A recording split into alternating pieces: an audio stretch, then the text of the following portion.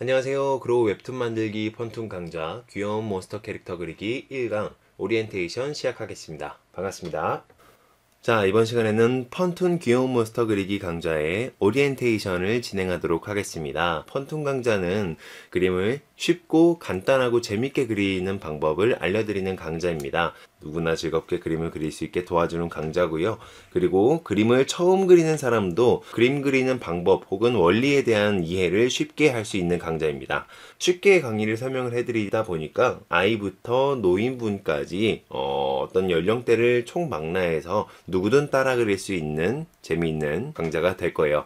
그리고 어, 좀 창의적이고 약간 구성력이 들어가고 상상력이 들어가 는 캐릭터를 활용을 해서 창의적인 캐릭터 그리기 강좌가 될 거라고 생각을 합니다. 자기도 모르게 어느새 그림에 대한 즐거움을 느낄 수 있게끔 될 거예요. 응용과 활용이 정말 빠르게 가능하게 만들어지는 어, 그런 강좌라고 생각해 주시면 될 것 같아요. 생활툰이나 아니면 그렇게 복잡하지 않은 단순한 형태의 만화를 원하시는 분들은요, 이 강좌가 정말 적합할 거라고 생각을 하고 있습니다. 귀여운 몬스터 그리기 강좌는요, 모든 스케치, 모든 드로잉 과정은 수작업으로 진행이 되니까 어, 만약에 타블렛을 평소에 사용하는 것이 불편하셨던 분들이라거나 아니면은 저는 이렇게 CG 작업을 많이 해본 적이 없어요 라고 하시는 분들도요 충분히 편안하게 따라오실 수 있는 강좌라고 생각을 하고요. 어, coloring 과정에서는요 어, 무료 페인팅 프로그램을 사용을 합니다. 어, 메디방이라는 프로그램을 사용을 하는데요 이 메디방이 PC에서도 사용이 가능하고 그리고 모바일 기기에서도 사용이 가능합니다. 기본적으로 동그라미랑 세모랑 네모만 있으면 대부분의 도형들은 다 만들어낼 수가 있습니다. 기본 도형에서부터 시작을 해서 굉장히 복잡한 도형까지 만들어질 수 있다라는 것을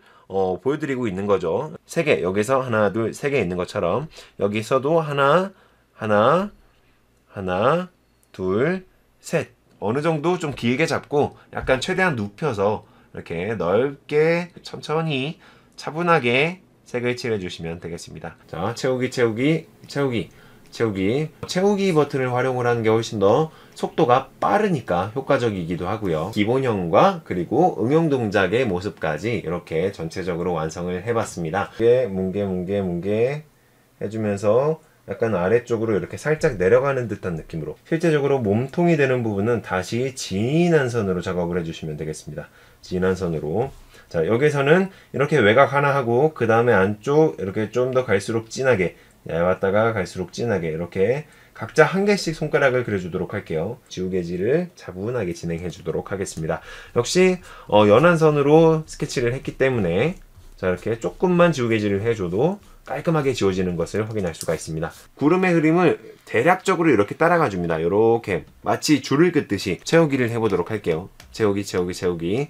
자, 이제는 그냥 전체적으로 전반적으로 채우기만 해주시면 됩니다. 어, 귀 끝에 부분에 이렇게 얇게 이런 식으로 하이라이트를 살짝 처리를 해주시고요. 이제 테두리 부분에 어, 적당한 두께로 이런 식으로 자, 하이라이트를 집어넣으시되 그림자는 건너뛰고 이런 식으로 여기도 마찬가지로 점점 점점 하이라이트가 없어질 수 있도록 자 여기도 머리 부분에 이렇게 살짝 하이라이트를 이런 식으로 귀엽네요. 그래서는 약간 이렇게 바깥쪽으로 조금 두꺼워지는 듯한 느낌으로 다리를 이렇게 그리고 요 끝에 부분에는 이렇게 동그랗게 동그라미 하나를 이런 식으로 적당하게 집어넣어 주세요. 반을 나눠 주시고요 그리고 또 반을 나눠주시고 또 반을 나눠주시면 이렇게 발가락이 완성이 됩니다. 자 안쪽에 레이어 하나, 볼록 하나, 둘, 셋, 네 개 정도 만들까요? 자, 여기서 흐름상 이렇게 살짝 일자, 살짝 일자 요 정도로만 그려주시면 됩니다. 외곽선부터 진행을 해서 어, 내각선으로 들어가는 형식으로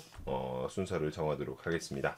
안쪽에 있는 다리 같은 경우는 얇게 시작을 했다가 점점 점점 두꺼워지는 형식으로 작업을 진행해 주세요. 어, 연필선을 정확하게 따라간다라는 느낌으로 그림을 그리시면 굉장히 강박이 생기기 때문에 오히려 더 정확하지 않을 수도 있습니다. 어, 요 다리 안쪽에도 한 요만큼만 볼록, 요만큼만 볼록 이렇게 해서 어, 색상의 차이를 조금만 주도록 하겠습니다. 자, 이런 날개 같은 경우에는 자 날개에 이렇게 경계 부분을 진행을 해주시면 되겠습니다. 도형으로 먼저 파악을 한 다음에 그 도형을 어, 캐릭터로 만들어 보는 어, 그런 과정을 한번 연습을 해보셨으면 좋겠습니다.